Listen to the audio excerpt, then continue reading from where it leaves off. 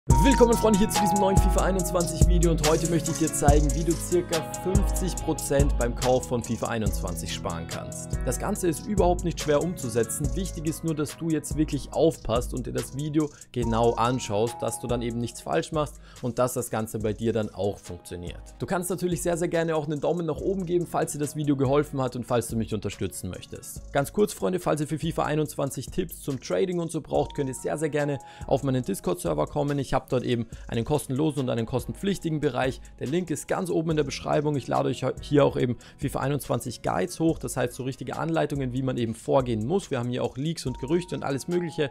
Natürlich trade ich jetzt zu FIFA 20 nicht mehr ganz so viel, aber zu FIFA 21 bin ich dann wieder voll dabei und äh, mache euch da dann eben auch noch ein Starter-Guide fertig, also es ist schon fast fertig, aber das werde ich euch dann hier hochladen, wie man in der Web-App vorgehen muss, wie man in EA Access vorgehen muss. All das kommt dann eben hier auch noch dazu. Checkt sehr, sehr gerne aus. Link ist ganz oben in der Beschreibung. Okay, dann werde ich euch jetzt erklären, wie ihr FIFA 21 sehr günstig bekommen könnt, aber bitte, bitte passt genau auf, sonst versteht ihr was nicht und ich werde danach auch noch kleine Fragen beantworten, die ihr euch wahrscheinlich im Video dann auch stellen werdet. Also bitte bis zum Ende dranbleiben. Okay, ich bin jetzt hier gerade auf meinem eigenen PS4-Account drauf und wir gehen jetzt von dem Szenario aus, dass ich selber FIFA nicht ich kaufe, ein Freund von mir kauft FIFA, ich gebe ihm die Hälfte vom Kaufpreis, das heißt beide zahlen nur 50% und ich bin jetzt auf meinem Account, wo ich FIFA 21 nicht gekauft habe. Okay, dann drücke ich jetzt lange auf die PS-Taste und gehe auf Benutzer wechseln und dann erstelle ich einen neuen Benutzer mit den Accountdaten des Freundes. Das heißt, ihr müsst auch wirklich aufpassen, dass das ein Freund ist, dem ihr wirklich vertrauen könnt. Nicht, dass der dann mit eurem Account irgendwas macht, aber das Risiko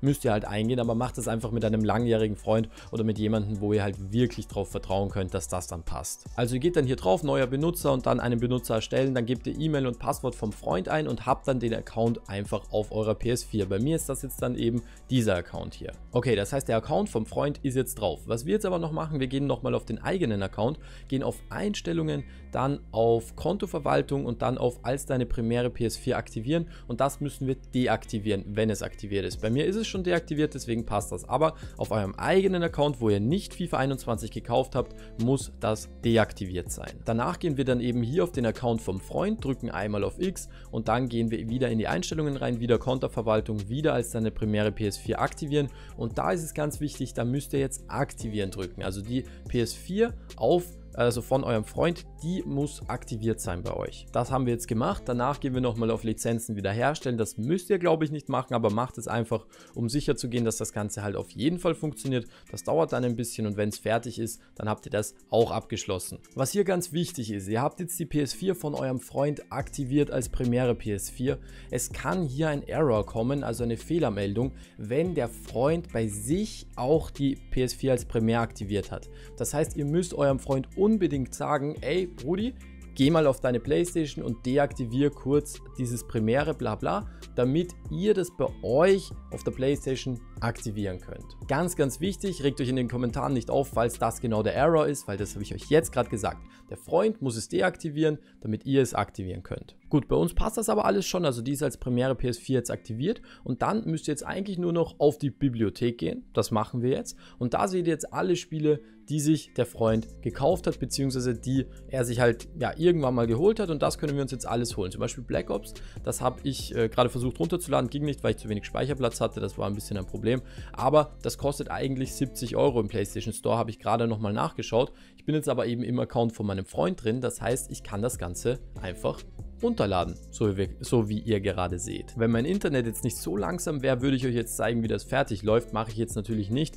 weil das ähm, ja an sich nicht wirklich sehr ähm, sinnvoll ist, wenn ich jetzt drei Stunden sitze und warte, bis das fertig geladen hat. Aber wir können jetzt auf den Hauptaccount gehen, also auf meinen eigenen Account. Dann sehen wir hier, dass Black Ops eben auch runtergeladen wird. Das heißt, ich bin jetzt auf meinem Hauptaccount, auf meinem normalen Account und das ist dann sozusagen FIFA 21, was ihr hier runterladet. Ganz, ganz einfach. Okay, nochmal kurz zusammengefasst. Auf beiden Accounts muss die primäre PS4 deaktiviert sein.